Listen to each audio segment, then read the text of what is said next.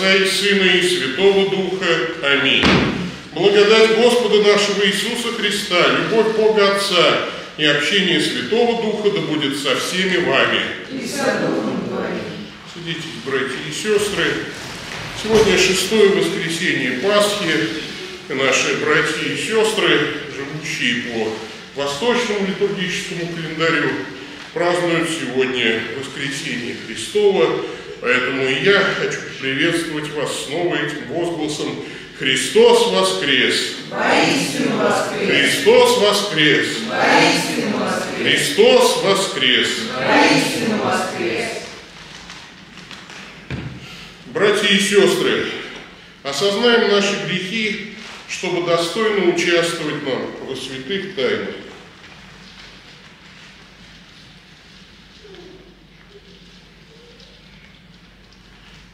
Исповедую перед Богом Всемогущим и перед вами, братья и сестры, что я много согрешил мыслью, словом, делом и неисполнением долга.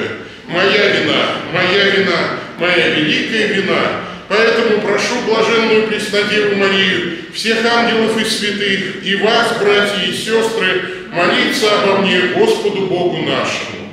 Да помилует нас всемогущий Бог, и, простив нам грехи наши, приведет нас к жизни вечной. Аминь.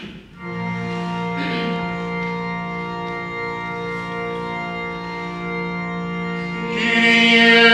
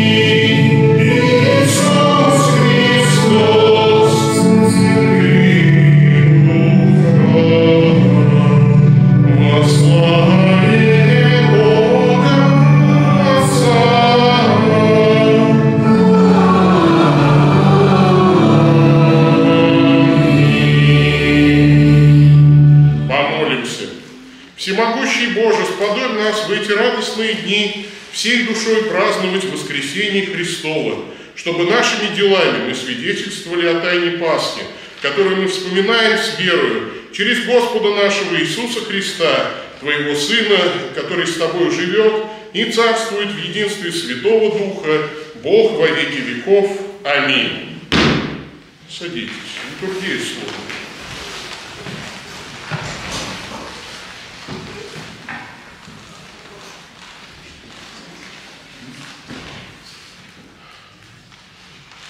Чтение деяний святых апостолов. В те дни, когда Петр входил в дом Корнилия, Корнилий встретил его и поклонился, пав ногам его. Петр же поднял его, говоря, «Встань, я тоже человек». Петр отверз уста и сказал, «Истинно познаю, что Бог мне приятель, но во всяком народе, боящийся его и поступающий по правде, приятель ему». Когда Петр еще продолжал эту речь, Дух Святой сошел на всех, слушающих Слово, и верующие из обрезанных, пришедшие с Петром, изумились, что дар Святого Духа излился и на язычников, ибо слышали их, говорящих языками, величающих Бога. Тогда Петр сказал, кто может запретить креститься водою тем, которые, как и вы, получили Святого Духа, и велел креститься во имя Иисуса Христа. Потом они просили его пробыть у них несколько дней. Слово Божье. Благодарение Богу. Перед народами Господь открыл свое спасение. Перед народами Господь открыл свое спасение. Воспойте Господу новую песню, ибо Он сотворил чудеса. Его десница и святая мышца Его доставили Ему победу. Перед народами Господь открыл свое спасение. Явил Господь спасение свое, открыл пред очами народов правду свою. Вспомнил Он милость свою и верность свою к дому Израиля. Перед народами Господь открыл свое спасение. Все концы земли увидели спасение Бога нашего. Восклицайте Господу вся земля, торжествуйте, веселитесь и пойте. Перед народами Господь открыл свое спасение. Чтение первого послания святого апостола Иакова. Возлюбленные, будем любить друг друга, потому что любовь от Бога, и всякий любящий рожден от Бога и знает Бога. Кто не любит, тот не познал Бога, потому что Бог есть любовь. Любовь Божия нам открылась в том, что Бог послал в мир единородного Сына Своего, чтобы мы получили жизнь через Него. В том любовь, что не мы возлюбили Бога, но Он возлюбил нас и послал Сына Своего в умилостивление за грехи наши. Слово Божие. Благодарение Богу.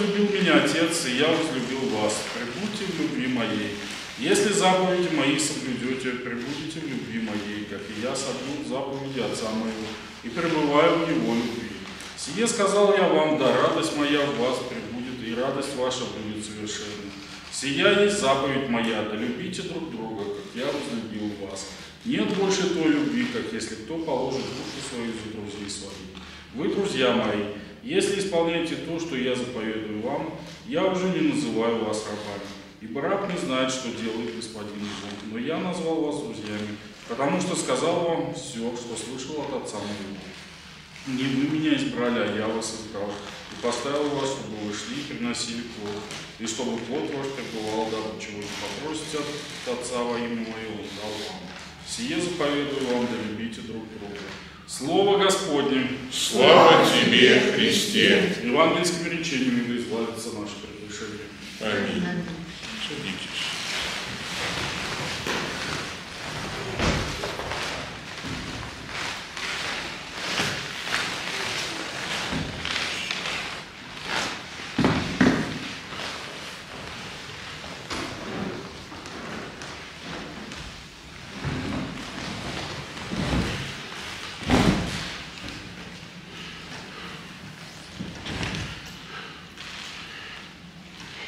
Дорогие братья и сестры, продолжаем чтение Святого Евангелия от Луки. Готовясь к этой проповеди, я задал нейросети вопрос. Сейчас нейросети отвечают на все вопросы по теме проповеди. Как предотвратить беду? И очень известная с женским именем нейросеть ответила, чтобы предотвратить беду, необходимо соблюдать правила техники безопасности. Их ровно четыре. Значит, на улице нужно быть аккуратным и вежливым, соблюдать правила дорожного движения. В зданиях соблюдать правила пожарной безопасности, правила гигиены, уважать внутренний распорядок. Перед тем, как пойти на улицу, нужно проверить, выключен ли свет, вода и газ. Больше всего мне понравился четвертый пункт. В любой ситуации человек должен быть на чеку, потому что потенциальная опасность существует везде. А, значит, а, при любой чрезвычайной ситуации необходимо звонить в службу спасения 01 или 112 с мобильного телефона. Это все очень хорошие рекомендации, но, увы, не универсальные. В следующем фрагменте Христос провозглашает горе фарисеям и книжникам, от которых вот от этих последствий горя не поможет служба спасения и правила гигиены. Хотя вроде бы с них, кстати, все и началось. Фарисей позвал Иисуса обедать и удивился, то есть выказал гостю свое удивление, что тот не умыл рук э, перед обедом. Но надо понимать, что на Востоке не было ни вилок, ни ложек, все брали руками из общего блюда, поэтому вроде бы как логично, все умывали руки перед едой, а, и Христос вряд ли бы стал что-нибудь э, противопоставлять этому обычаю, если бы фарисеи, конечно, из этого не, ну, не сделали прям целую чехарду, а, то есть они придали ему смысл закона, без соблюдения которого нет спасения, и при этом, а, да ладно бы еще и это, они же пренебрегали на самом деле чистотой сердца, то есть Иисус – обличал их в лицемерии. И э, здесь, э, ну, как бы, нужно было, конечно, соблюсти такой очень интересный ритуал, там специальная вода в таких каменных чашечках, потому что другая вода может быть э, нечистой. И э, там брали три половинки яичной скорлупы, вот туда наливали воду, и вот в эти каменные чашечки выливали, сначала, значит, лили из одной половинки скорлупы воду на, э, значит, на правую руку сначала, да, на правую сначала, потом ее вот, как бы вода текла по запястью, и тыльной стороной ладони все это растиралось. Потом процедура повторялась с левой рукой, э, вот, потом лили воду уже вот так, чтобы она с локтей на пальцы, значит, стекала, и э, все это превратилось э, в такой уже скорее ритуал, потому что на самом деле, конечно, с гигиеной это уже не имело ничего общего. Ну, три э, половинки яичной скорлупы, конечно, рук от грязи не отмоют.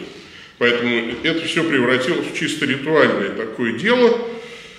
И фарисеи думали, вероятно, и учили так других людей, что горе приходит в их жизнь, если они нарушили ритуал. Ритуалы при этом важны, никто, кстати, их не оспаривает. И вежливость важна, и гигиена важна. Но весь этот вот афронт, который предпринял здесь Иисус Христос, э, вот такой специально, да, демонстративно, не умыв э, рук перед едой, он был, конечно, задуман совершенно другой целью. Не с целью там, не спровергнуть ритуал, вежливость или гигиену. А он хотел сказать, что горе-то в вашу жизнь, фарисеи, приходит совершенно с другой стороны. То есть вы очень хорошо укрепили ритуальную сторону вашей религиозной жизни. И это очень похоже на то, как я не помню, в какой-то юмористической передаче, чуть ли не в городке, что ли, там главные герои строили ворота, укрепляли их, ну, то есть показывают крупным планом ворота, и они там и такой замок повесили, говорят, нет, это что-то как-то слабо, давай еще, и они еще там замок повесили, еще засов, и еще там двойную дверь поставили, ну, вот теперь вроде нормально, нормально, да.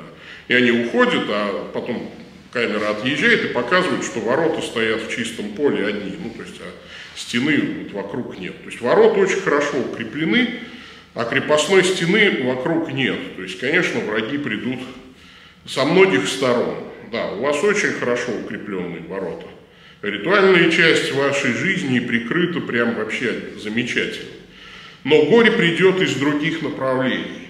И в сегодняшнем тексте Господь показывает семь дорог, по которым приходит горе. И часто фарисеям невдомек, что эти дороги у них не прикрыты. Давайте прочитаем 11 глава Святого Евангелия от Луки с 37 по 54 стихи. Когда он говорил это, один фарисей просил его к себе обедать, он пришел и возлег. Фарисей же удивился, увидев, что он не умыл рук перед обедом. Но Господь сказал ему, «Ныне вы, фарисеи, внешность чаши и блюда очищаете, а внутренность ваша исполнена хищения и лукавства. Неразумный не тот же ли, кто сотворил внешнее, сотворил и внутреннее? Подавайте лучше милостыню из того, что у вас есть, тогда все будет у вас чисто. Но горе вам, фарисеям, что даете десятину с мяты, руты и всяких овощей, и не родите о суде и любви Божией, сие надлежало делать, и того не оставлять. Горе вам, фарисеям, что любите председания в синагогах и приветствия в народных собраниях, Горе вам, книжники и фарисеи, лицемеры, что вы как гробы скрытые, над которыми люди ходят и не знают того. На это некто из законников сказал ему, «Учитель, говоря это, ты и нас обижаешь». Но он сказал, «И вам, законникам, горе, что налагаете на людей бремена неудобоносимые, а сами и одним перстом своим не дотрагиваетесь до них. Горе вам, что строите гробницы пророкам, которых избили отцы ваши. Сим вы свидетельствуете о делах отцов ваших, и соглашаетесь с ними, ибо они избили пророков, а вы строите им гробницы. Потому и премудрость Божия сказала, пошлю к ним пророков и апостолов, и из них одних убьют, а других изгонят, да взыщется от рода сего кровь всех пророков, пролитая от создания мира, от крови Авеля до крови Захарии, убитого между жертвенником и храмом. Ей, говорю вам, взыщется от рода сего. Горе вам, законникам, что вы взяли ключ разумения, сами не вошли и входящим воспрепятствовали. Когда он говорил это, книжники и фарисеи начали сильно приступать к нему, вынуждая у него ответы на многое, подыскиваясь под него и стараясь уловить что-нибудь из уст его, чтобы обвинить его. Итак, семь путей, по которым приходит горе к нам – во-первых, горе приходит, когда грехи не побуждают вас к печали и сокрушению. Вот 39 и 40 стих. Фарисею внешность чаши и блюда очищайте, а внутренность ваша исполнена хищение и лукавство. То есть Христос обвинил фарисеев в воровстве, хищении и в лукавстве. А в чем состояло их воровство? Прикрываясь духовным авторитетом, многие из фарисеев входили в доверие к вдовам, уговаривали их переписать имущество на себя. А, и буквально в Евангелии от Матфея Христос им говорит, вы поедаете дом и вдов. То есть вы их просто тупо проедаете, вы их даже в оборот не пускаете, вы просто все тратите на себя. Кроме того, фарисеев не беспокоило присущее им лукавство. Да, они пытаются запутать его хитрыми вопросами, в конце мы об этом читаем. При этом они в этих грехах, самое главное, не раскаивались. То есть они грешили, но не раскаивались в грехах. Апостол Павел говорит об этом так в послании к римлянам. Вот ты называешься иудеем и успокаиваешь себя законом, и хвалишься Богом, и знаешь волю Его, и разумеешь лучшее, научаясь из закона, и уверен о себе, что ты путеводитель слепых, свет для находящихся во тьме, наставник невежд, учитель младенцев, имеющий в законе образец ведения истины. Как же ты, уча другого, не учишь себя самого? Проповедуй не красть, крадешь, говоря не прелюбодействуй, прелюбодействуешь, гнушаясь идолов, святотатствуешь, хвалишься законом, а преступлением закона бесчестишь Бога, ибо ради вас, как написано, имя Божие хулится у язычников. То есть человек грешит и в этом даже не раскаивается. А о таком вот положении дел когда-то писала Марина Цветаева. Заповедей не блюла, не ходила к причастию. Видно, пока надо мной не пропоют литию, буду грешить, как грешу, как грешила, со страстью, Господом данными мне чувствами, всеми пятью. Други, сообщники, вы, чьи наущения жгучи, вы сопреступники, вы нежные учителя, юноши, девы, деревья, созвездия, тучи, Богу на страшном суде вместе ответим, земля. Бог призывает нас, сокрушайтесь, плачьте и рыдайте. Смех ваш да обратится в плач и радость в печаль. А кто не проливает слез о грехах на земле, будет вечно оплакивать их там, за гробом, где плач и скрежет зубов. Горе приходит через нераскаявшее сердце, нераскаявшееся сердце. Второй путь. Горе приходит, когда вы пренебрегаете милостью и справедливостью. 41 и 42 стихи. «Подавайте лучше милостыню из того, что у вас есть, тогда все будет чисто. Но горе вам, фарисеям, что даете десятину смяты, руды и всяких овощей, и не родите о суде и любви Божией. Сие надлежало делать, и того не оставлять». То есть вам бы, конечно, и десятину платить Богу, да, и милость не забывать. Милосердный будет благословляем, потому что дает бедному от хлеба своего. В притчах записано. «О человек, сказано тебе, что добро и чего требует от тебя Господь. Действовать справедливо, любить дела милосердия и смиренно-мудренно ходить перед Богом твоим». Ну, фарисеи, кажется, не очень хорошо знали, что такое милосердие. Милосердия нет, не слышно. Они тщательно отдавали десятину с пряностей. Ну вот, купили вы, заказали в Ашане 10 пакетиков с молотым перцем. Вот один в церковь отнесли. Ну, так вот. Э, с, с овощей, то есть вот все. Но при этом много раз демонстрировали жестокость, хотели побить камнями женщину, застигнутую в прелюбодеянии, э, решили убить воскрешенного Лазаря Христом, несколько раз покушались на жизнь Иисуса и в конце концов э, добились смертного приговора. Апостол Павел обвинял э, фарисеев, но по упорству твоему, нераскаянному сердцу, ты сам себе собираешь гнев на день гнева и откровение праведного суда от Бога. Как у нас обстоят дела с нашим милосердием? Когда мы в последний раз сделали добро ближнему, навестили больного, пожертвовали на миссию или на церковь. И если нас не трогают проблемы людей, то горе уже близко. Третий путь. Горе приходит, когда главной нашей страстью становится одобрение других людей. Горе вам, фарисеям, что любите председания в синагогах и приветствия в народных собраниях. В синагоге привилегированные места всегда спереди – они, а, а, значит, обращены лицом к молящимся.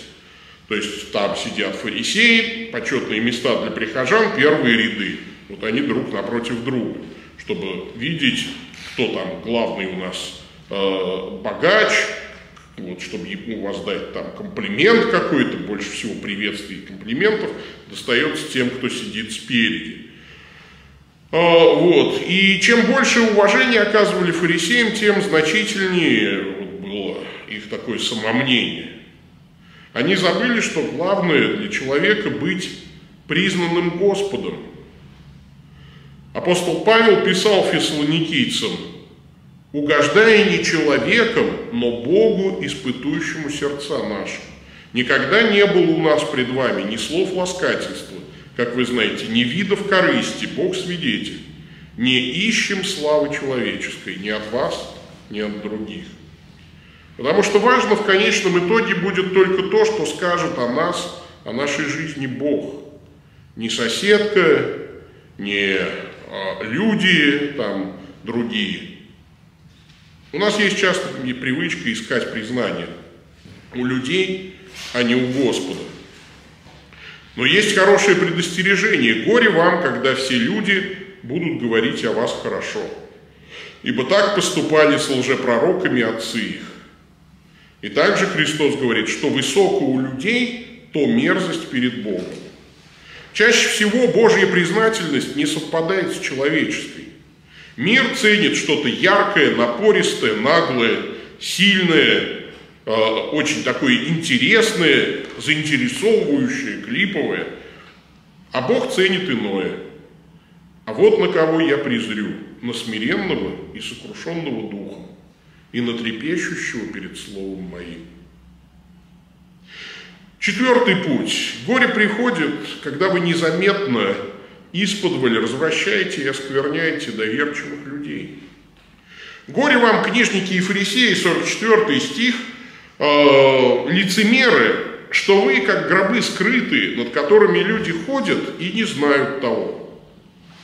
В Ветхом Завете прикосновение к гробу, к умершему или к кости человеческой делало человека нечистым на неделю, ну то есть такой карантин. И во время этого карантина осквернившийся не имел права э, посещать богослужение и общаться с людьми. И вот Иисус говорит фарисеям, вы подобны незаметным могилам или костям. То есть к вам прикоснешься и осквернишься от вас. Вы обходите море и сушу, чтобы обратить хотя бы одного. И когда это случится, делайте его сыном гиены, вдвое худшим вас.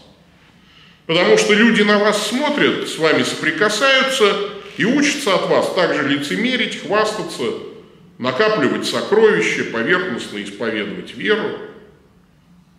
Они с вами водятся и от вас набираются плохого. То есть это, конечно, было страшное оскорбление, сравнить книжников и фарисеев со скрытыми гробами. То есть те, кто считал себя самым священным, на деле как бы оскверняли других людей своим прикосновением. И те даже не ведали об этом. И здесь вопрос. Вот что выносят люди из общения с нами? Вот если кто-то с нами поговорил, с каким настроением от нас уходит человек? С благословением, с радостью или с утешением? Или он ушел от вас, унеся сплетню, опустошение, горечь, Соблазн. Горе миру от соблазна, говорил Христос. Горе приходит, когда мы соблазняем других. Если вы не просвещаете и не освещаете вашим присутствием людей, и если они не благодарят Бога за общение с вами, горе уже близко. Пятый путь. Горе приходит, когда вы существуете по двойным стандартам – Законник говорит, учитель, ну это очень обидно, да, 45 стих. Говоря это, ты и нас обижаешь. А, то есть вот фарисеи, ладно, но мы-то законники, мы нормально Писание исповедуем, мы не сектанты какие-то. Мы просто знатоки Писания. Мы, можно сказать, почти светские люди, просто хорошо знаем Писание. А Христос говорит, да и вам тоже горе. Налагайте на людей бремена неудобно носимые, а сами одним перстом своим не дотрагивайтесь до них. Двойные стандарты, они окружают нас сплошь и рядом. В семье можно там встретить. Ребенка ругают за неубранную постель, при этом у взрослых она не заправлена. Одного, э, значит, ребенка наказывают за брошенные вещи в коридоре, а, значит, за другого ребенка мама аккуратно развешивает одежду. Двойные стандарты в политике, при одинаковом там, сущностном наполнении действий одних стран получают поддержку и оправдание, а других осуждают, наказывают, вводят санкции. Там, да. В общении мне можно то, что нельзя другим. Можно все то, что э, им тоже можно делать. Да? То есть вот отношение к коррупции, к пользованию служебным положением, когда человек гневно обличает воровство, а сам ворует тоже. И фарисеи вот учили праведности, создавали законы, а сами их нарушали.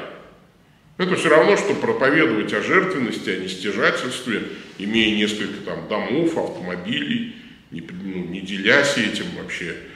А, в книге пророка Иезекииля говорится о мерзости, да, то есть э, сказал он мне, сын человеческий, видишь ли ты, что они делают? Великие мерзости, какие делает дом Израилев здесь, чтобы я удалился от святилища моего. И привел меня ко входу во двор, и я взглянул, и вот в стене скважина. И сказал мне, сын человеческий, прокопай стену. Я прокопал стену, и вот какая-то дверь. И сказал мне, войди и посмотри на отвратительные мерзости, какие они делают здесь. И вошел я и вижу, и вот всякие изображения присмыкающихся и нечистых животных, и всякие идолы дома Израилева, написанные по стенам кругом.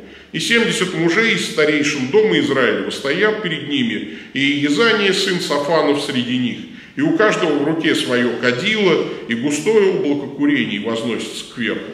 Не сказал мне, видишь ли, сын человеческий, что делают старейшины дома Израилева в темноте, каждый э, в расписанной своей комнате, ибо говорят, не видит нас Господь, оставил Господь землю сию. Зато и я стану действовать с яростью, не пожалеет око мое и не помилую, и хотя бы они взывали в уши моим громким голосом, не услышу их. Так что если вы сами без покаяния нарушаете те нормы, которые требуете от других, горе близко. Шестой путь. Горе приходит, когда вы ни во что ставите Божьих служителей. Вот здесь с 47 аж по 51 стихи да, говорится о том, что вообще взяли и всех убили, всех пророков Божьих убили, апостолов тоже одних убьют, а других изгонят.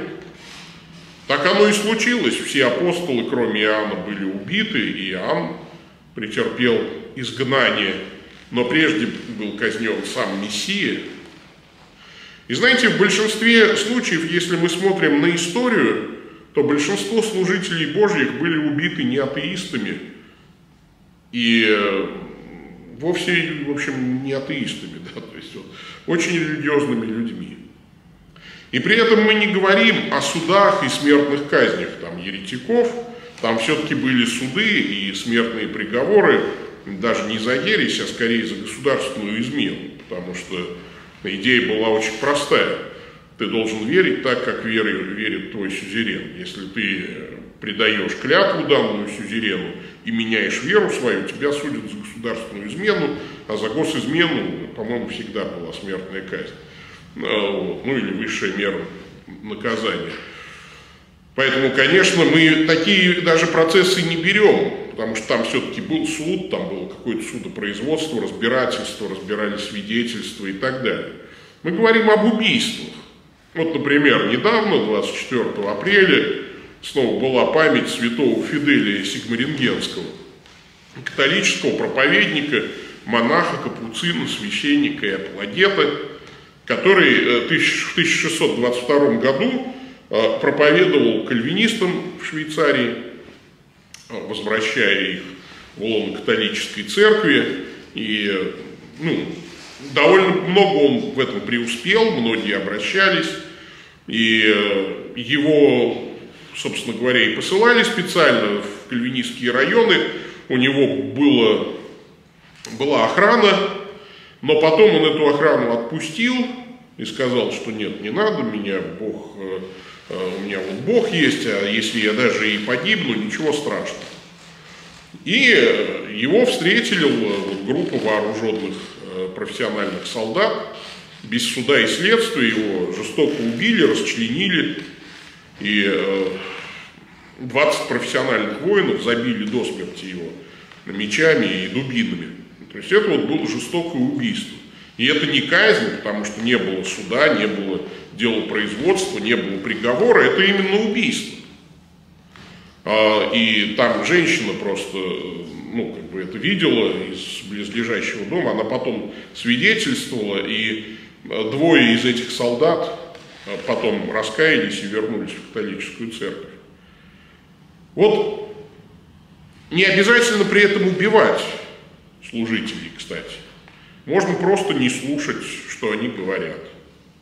Вот Господь велел слушать ведь даже фарисеев. Он говорит, вы все, что они вам говорят, слушайте и исполняйте, только по делам их не поступайте, то есть лицемерию не подражайте. Что же говорить о служителях церкви? Внимание к проповеди, к всему наследию, что оставляют вам ваши наставники.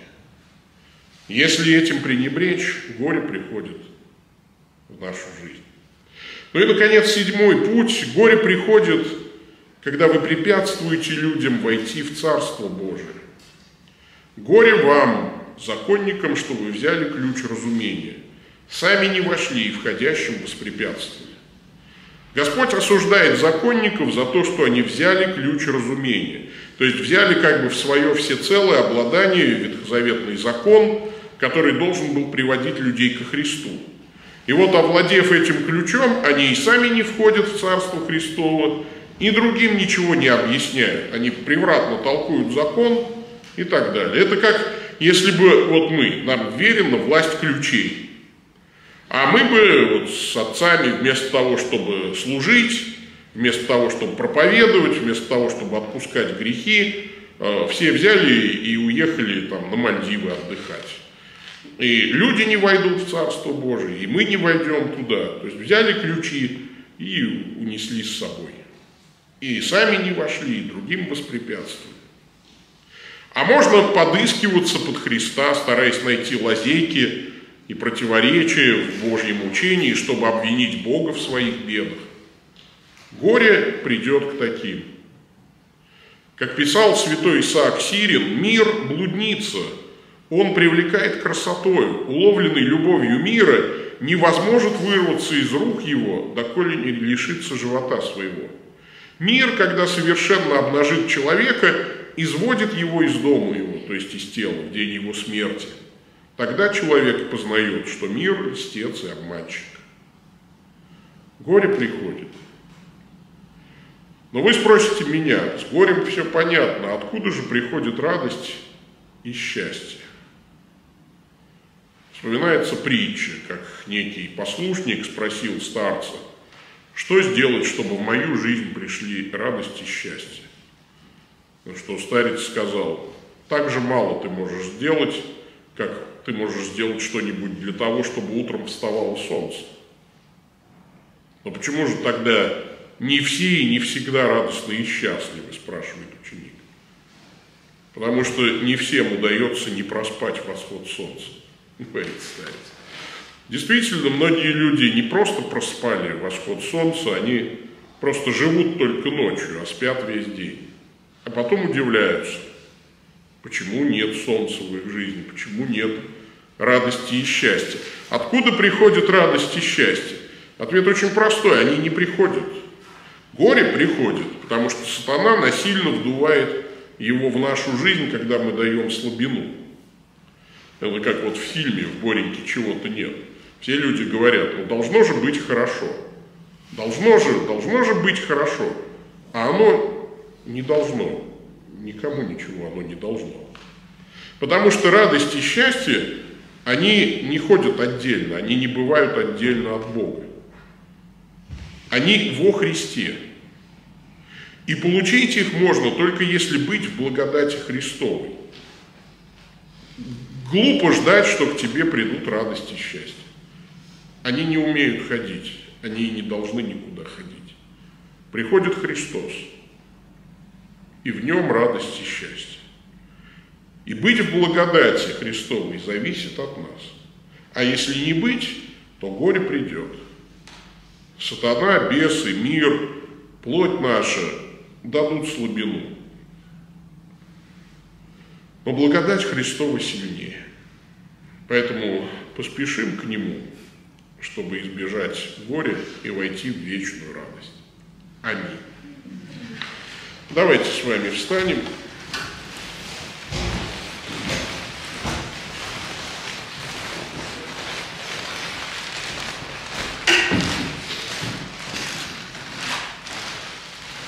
Исповедуем нашу общую веру Никео Цареградским символом.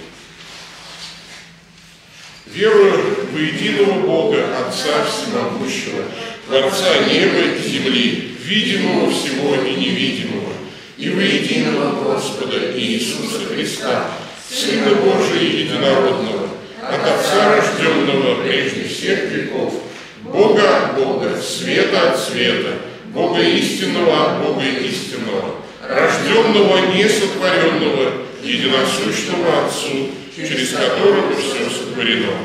Ради нас, людей, и ради нашего спасения, сошедшего с небес и воплотившегося от Духа Святого и Марии Девы и ставшего человеком, распятого за нас при Понтии Пилате, страдавшего и погребенного, воскресшего в третий день по Писанию, вошедшего на небеса и сидящего одесную Отца, вновь грядущего со славою судить живых и мертвых, и царству его не будет конца.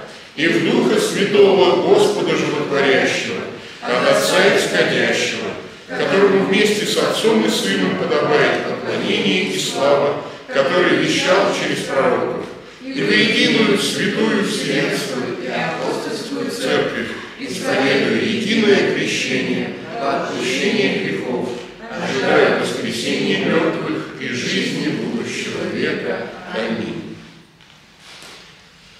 Братья и сестры, в радости, возвещая миру освобождение, дарованное нам воскресшим Христом, помолимся о мире и согласии для нашей страны и всех народов.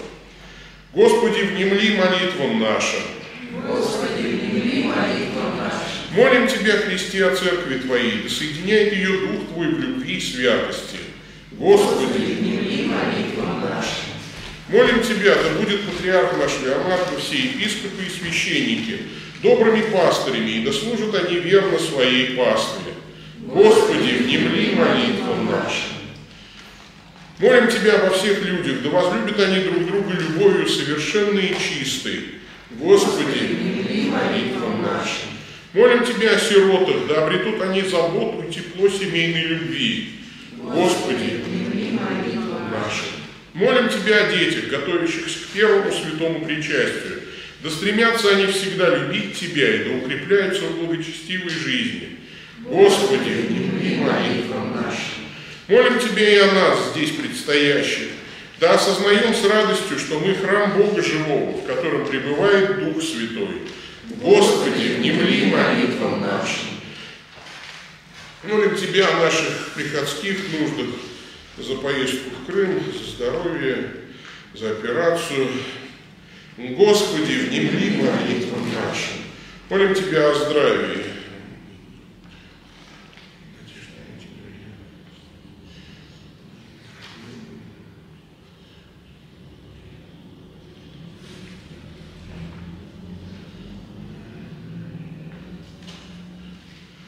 Господи, внемли молитвам нашим, молим Тебя об упокоении.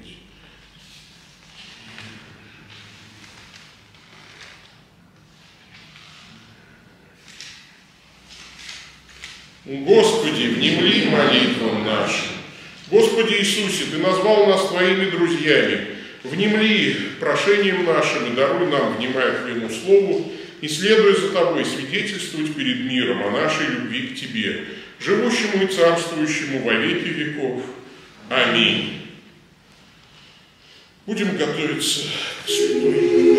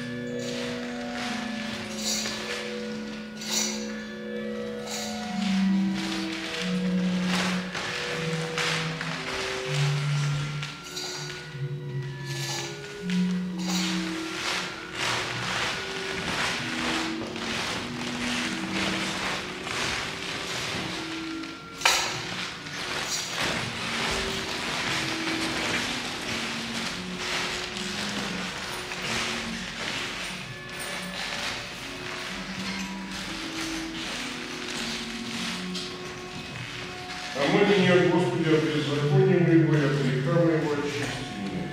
Молитесь, братья и сестры, чтобы моя и ваша жертва была угодна Богу Отцу Всемогущему.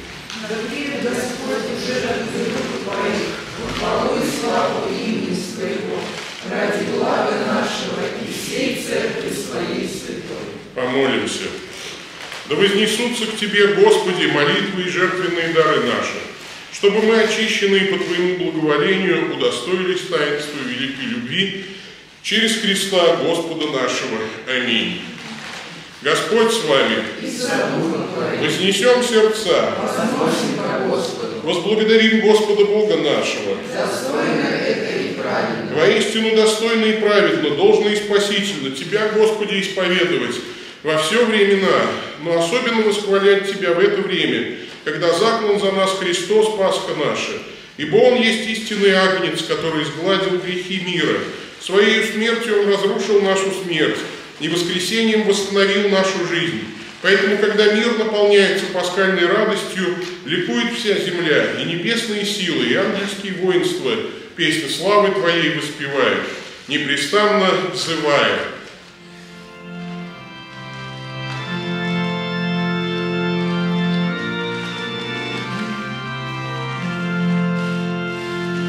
Israel.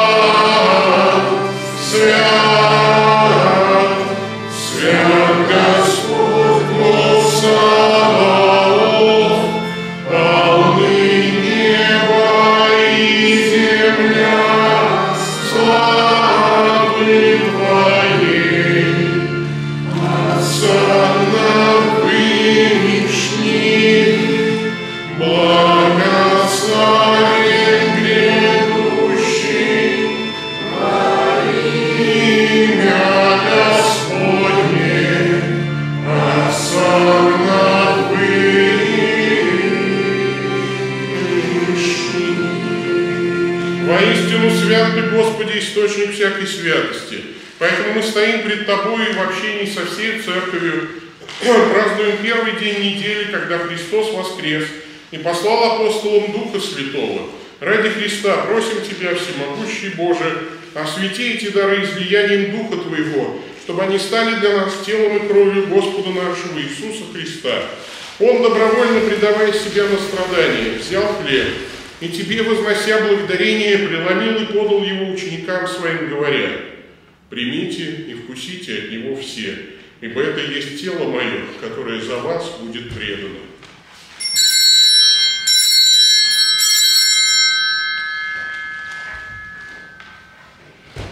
Подобным образом после вечери, взяв чашу и вновь вознося тебе благодарение, он подал ее ученикам своим, говоря, «Примите и пейте из нее все, ибо это есть чаша крови моей, нового и вечного завета, которая за вас и за многих прольется в отпущении грехов. Это совершайте в память обо мне».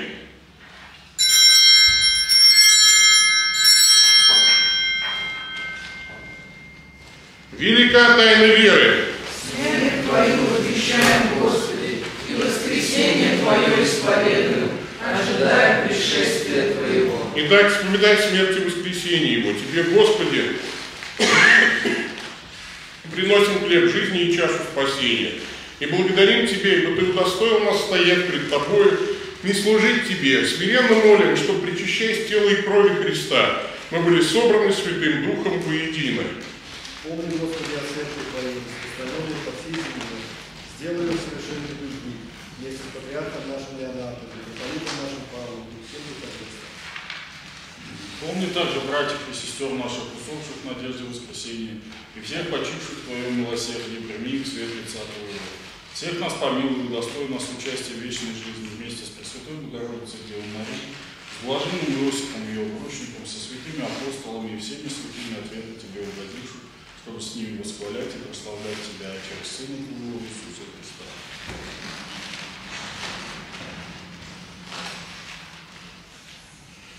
Через Христа, со Христом и во Христе, Тебе, Богу Отцу Всемогущему, в единстве Духа Святого, всякая честь и слава во веки веков. Аминь. Мы называем себя детьми Божьими и воистину ими являемся, Поэтому дерзаем называть «Отче наш, сущий на небесах, да светится имя Твое, да придет Царствие Твое, да будет воля Твоя и на земле, как и на небе. Хлеб наш насущный дай нам на сей день, и прости нам долги наши, как и мы прощаем должникам нашим. И не введи нас в свои искушения, но избавь нас от лукавого. Избавь нас, Господи, от всякого зла, даруй милостивый мир во дни наши, чтобы силой милосердия Твоего мы были всегда свободны от греха и ограждены от всякого смятения, ожидая исполнения блаженного упования и пришествия Спасителя нашего Иисуса Христа. Ибо Твое есть царство и сила и слава навеки. Господи Иисусе Христе, в день своего воскресения Ты приветствовал учеников своих словами «Мир вам». Невзирая на наши грехи, но на веру Церкви Твоей, и по воле Твоей благоволи умирить и объединить ее. Ты живущий и царствующий во веки веков. Аминь. Мир Господу нашему да будет всегда с вами. И за Духом Твоим. Приветствуйте друг друга миром и любовью.